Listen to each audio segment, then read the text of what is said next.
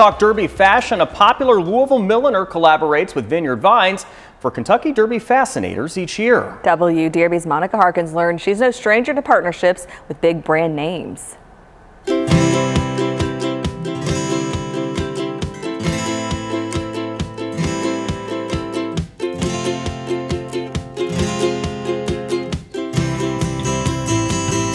Feathers, fascinators, bows, and beads.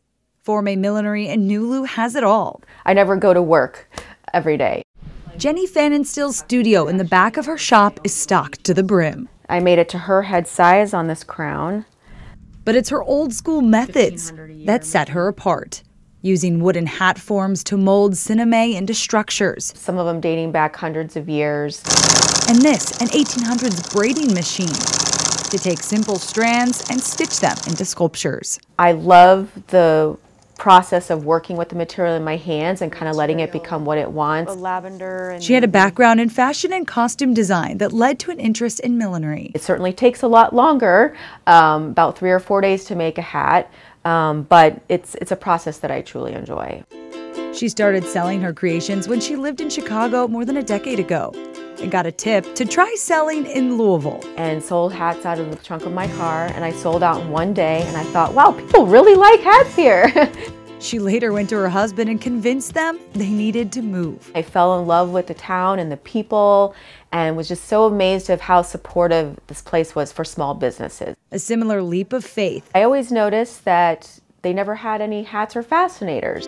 Helped her secure a deal with Vineyard Vines. Asked if they would be interested in seeing some samples and maybe we could partner together on a collection.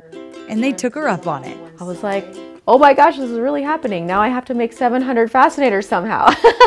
For the last eight years, she has designed between two to five fascinators for the Vineyard Vines Kentucky Derby collection. I uh, was able to employ about six stitchers and still do to this day. And uh, that helped me on the project. And we make it all here in Louisville, Kentucky.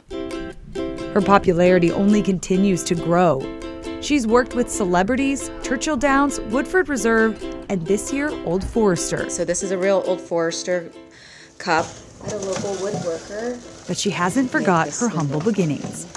Each year, she showcases an up and coming milliner's work alongside her own. If it wasn't for these boutiques and hotels that believed in me and gave me a, a, an opportunity to showcase and sell my hats, then I wouldn't be where I am today either. With a devotion to honor the past in the future. And I just want to help keep it alive. In Louisville, with photojournalist Jeff Gordon, Monica Harkins, WDRB News. I love seeing all the fashion, all the fascinators and hats. That mint julep hat was kind of cool. Mm-hmm. You could wear a fascinator with mint julep right here. Mm-hmm. Can you pour the actual thing in there? Like this, maybe. like it.